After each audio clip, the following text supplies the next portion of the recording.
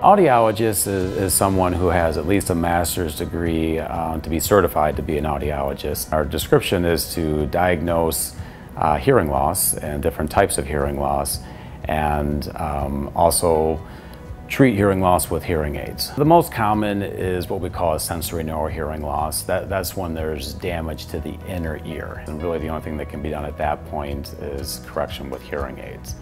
Um, but during our testing, there, we rule out other types of hearing losses that potentially could be um, fixed by medically, surgic surgically.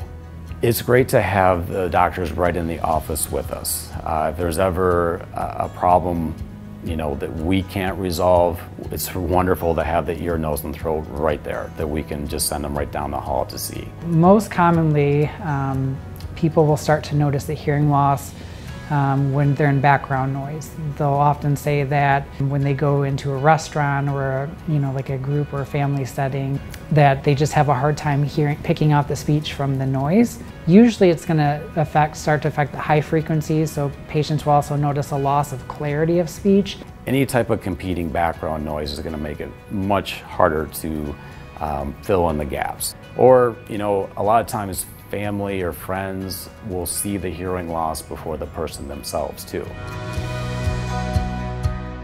When I first started practicing 17 years ago, uh, most of the hearing aids were analog. I had a little screwdriver adjustment, uh, some potentiometers to cut and increase uh, high and low gain.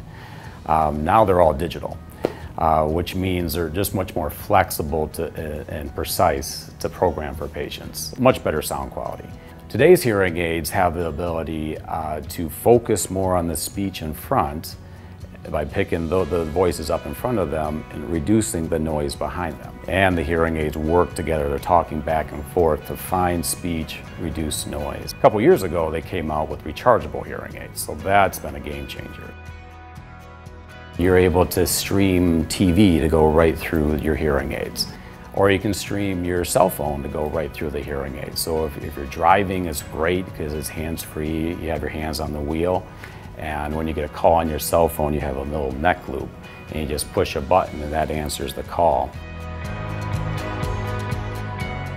Real ear measurements is um, some equipment that we have in our office to really uh, allow us to get the most out of the hearing aid. It's uh, equipment that helps us verify that we're properly amplifying every frequency. Basically the first step is going to be to um, have an individual undergo an audiogram. That's where we measure their hearing threshold. So when we actually fit the hearing aid, what we do is we take a small probe tube, insert it down the ear canal.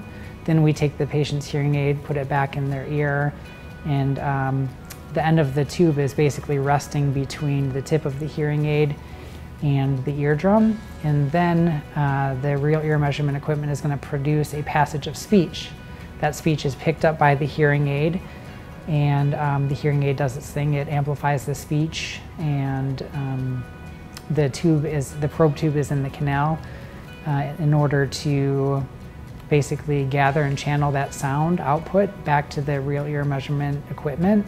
And then on the screen, we have an, a reading of you know, how much volume a patient is getting pitch by pitch. We know whether it's adequate, if they need more, less. I see patients with hearing loss, and a lot of them withdraw. You know, they, they're social people, but it's so hard for them to follow conversations that it's, it's just too hard to go into that setting and put themselves through that. So they tend to just stay home. Hearing is a very basic aspect of life and you know it's needed in basically every situation you go in. So to be able to help a person hear better is very rewarding. What I want for my patients is to give them their hearing back and give them a lot of their, their social life back.